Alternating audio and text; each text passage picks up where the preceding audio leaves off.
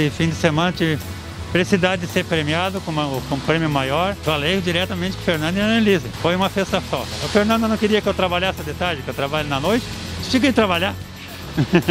eu vou pagar umas contas e investir, comprar, fazer um negócio para trabalhar por conta. Vem almoçar e comprar o Trilegal premiado aqui no restaurante Camate. Eu sou Alan David Camate, vendedor da cartela premiada do Mitsubishi ASX para o seu Edgar da Rosa, e o próximo pode ser seu.